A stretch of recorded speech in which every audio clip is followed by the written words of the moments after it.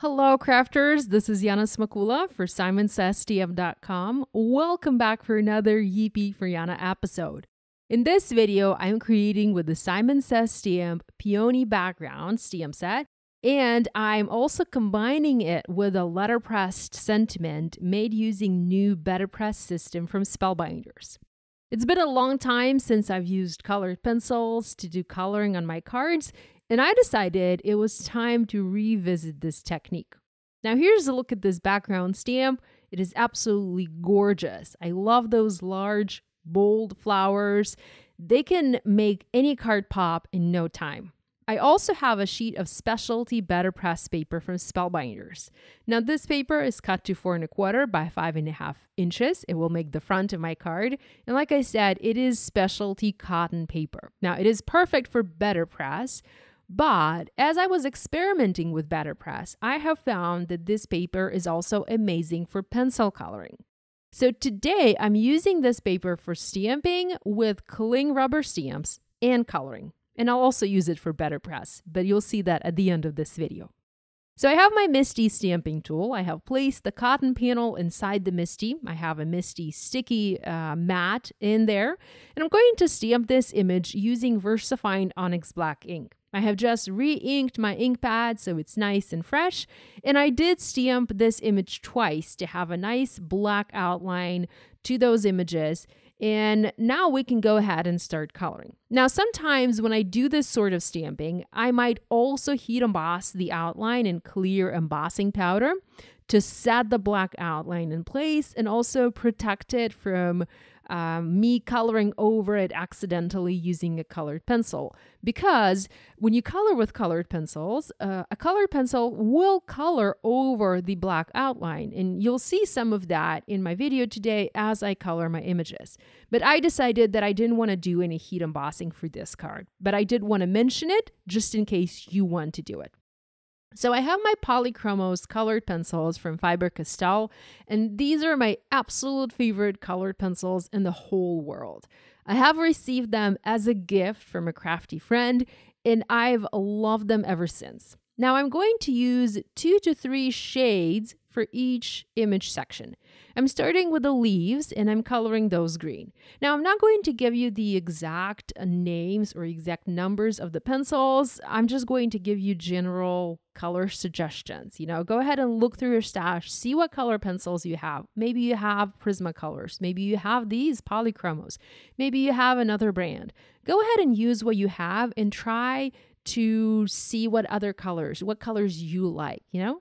So the technique I'm using today is flick style coloring. I add flicks of color to each section, starting with the darkest color, with the darkest shade pencil, to lay down my shadows. I also add the same color, so the same shadow, from the opposite side of my image. So here, the opposite side of the leaf. And next, I'm adding my lighter color in in the same way. But here I'm extending this color now a bit further into the leaf, leaving very little white space. But I am leaving white space here, and this will be the highlight for the leaf. And you'll also see me do the same for the petals. So I'm leaving the highlight for my images. I love coloring my images this way. I then go back to the dark green and I reapply it and I also reapplied the light green the light green as well. You can go back as many times and you can layer and layer the pencils until you're happy with the intensity and the amount of pigment you have on your paper. Now, I have a sheet of paper and like this is just scrap paper, like printer paper, and I use it under my hand as I don't want to accidentally smear the ink or move the color on the image or, you know, get my hand dirty. So that's why I have this sheet of paper here. Nonetheless, I did manage to get the paper slightly dirty from all of the pencil shavings, but that is actually easily fixable, easily removable using a pencil eraser. You can just basically erase some of the pencil using a regular pencil eraser. Still, using a sheet of paper here is also helpful. Now, with the leaves colored, I moved on to coloring the flowers. So there are two large flowers and two small buds. I decided to use orange and pink for the large flowers. And here I started by adding the darkest orange in the exact same way. So I follow the stamped lines to create or accentuate the folds of my petal. And if there are no stamped lines on the petal, I try to envision where the stamped lines might be. And I try to imagine where I can create dimension and where I can create the folds in each petal. You'll notice that I do color one petal at a time, and that's how I create when I work with colored pencils. You know, I work at a small section. When I'm done with that section, I move on to the next one. So next I use the medium orange color and again I extend the flicks further into the petal on both sides and both ends from the base of the petal to the tip of the petal. Now here I also have a third color or a third shade of orange, the lightest orange, and I'm using it to blend the other colors. And again, I'm extending it even further into the petal, into that white space, leaving just a little bit of the true white highlight. Now, when working with colored pencils, it is very important to keep the tips of the pencils sharp. I cannot color at all if the tips are dull. You know, I don't feel that I'm getting the control that I like. I'm not getting the right amount of pigment on the paper. So I sharpen my pencils all the time. And it is important to have a very good pencil sharpener. The reason I why I love my polychromos so much is because these are hard pencils meaning they sharpen to a very fine point and they sharpen nicely without breaking. So I can have a very fine point to my pencil and I can add even the finest strokes, you know, even the finest details to my coloring. The pink flower is colored using a dark pink, a medium pink, and a white pencil. So I'm using white here to blend the pinks together and also soften them. So I love using white pencil, and it is probably the one pencil that I use the most as I do use it with all the other colors that I have. Like I said, it is absolutely great for blending. In fact, I have several white pencils because I use them so much. Finally, I used some peach colors to color the two small flower buds. And here again, I used a dark peach, a light peach, and then a white pencil to blend these together. And here's what the finished panel looks like. I love this result. Now I have a simple tip to share with you. I did color over the black stamped lines using my white pencil. Uh, it was unintentional, and that dulled the black, of course, and it just didn't look good in the end. I could have prevented that by heat embossing the outline in clear embossing powder, something that I mentioned at the beginning of this video, but I found a super simple fix for this using a regular regular pencil, you know? Something that we all have in our stash. So I just used a regular pencil. This is just a pretty floral pencil that I happen to have from Rifle Paper. And I colored over the black stamped outline using my pencil. So anywhere where I had accidentally added white coloring, I just colored over that with my regular pencil and it helped bring back that black outline. It's not a perfect fix, of course, because the regular pencil is gray. It is not black, so it is not it's not giving me a true black color. But if you think, you know, if you decide between the white, like a white spot on your black outline and a and a dark gray, I would much rather go with a dark dark gray because it isn't as visible, it isn't as, as noticeable, and it's just a nice trick uh, you know, for a quick and simple fix. And also, it doesn't require any other supplies. We all have regular pencils in our stash. Next, I really wanted to add a better press sentiment to this card. So I used a sentiment plate from the Butterfly Garden from Spellbinders. So this is their brand new letterpress, uh, better press plate. And here I have my better press system from Spellbinders.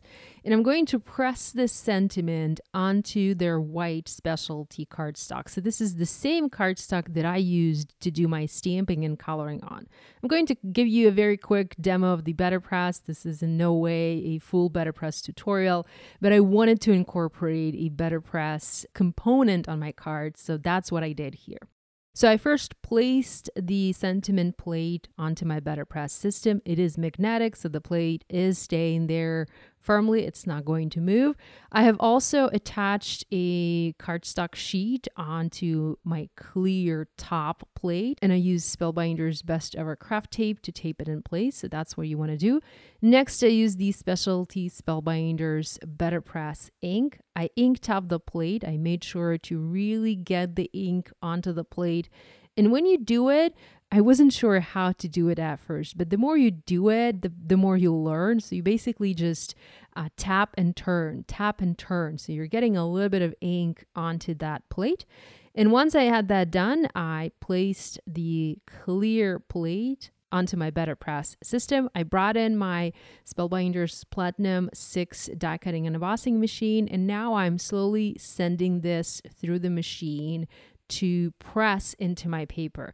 The trick here is you only want to go forward, do not go back. So just send it one way, send it forward, and let's take a look.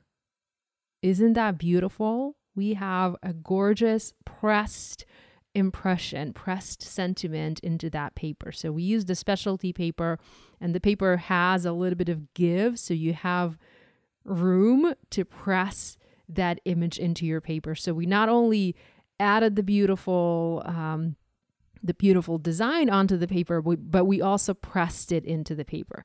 I'm also going to use a coordinating die. So I first tried using the large frame die, but it actually ended up being too big. So this, when you cut this sentiment, this frame out like this, it ends up being as wide as your card. So my card is A2, so it's four and a quarter by five and a half inches. And this ends up being four and a quarter inches wide. And that even that butterfly, it's a little bit bigger than that. So I then used a another coordinating die that is included in that same mm, Better Press plate set.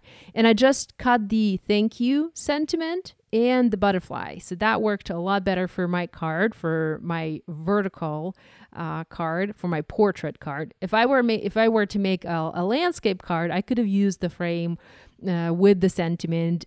You know that would have worked fine. But here, I just needed the sentiment and just the butterfly. I also used my colored pencils to color the butterfly. I used the exact same colors as before and then I adhered my background onto an A2 card base. I used my Simon Says stamp T-square ruler to adhere the sentiment onto my card. I used foam adhesive squares to pop the sentiment up. And of course, I popped the butterfly on my card as well. Lastly, I used the sparkling clear sequins from Pretty Pink Posh to add a little bit of sparkle to this design. I added just a couple of sequins here and there, and I absolutely love the way this turned out. So you have a beautiful, beautiful stamping in the background. Again, I just love those florals. You know, they're so big, so bold and beautiful. And with these florals, you have a lot of room to do some proper blending and shading. You know, whatever coloring medium you decide to use with these flowers, you have a lot of room to be able to really enjoy that coloring and go to town. So you have the beautiful flowers, you have a beautiful letterpress sentiment, and it's just gorgeous. So here's a look at this card. Thanks so much for spending time with me today. Love you guys, and I'll see you next time. Bye.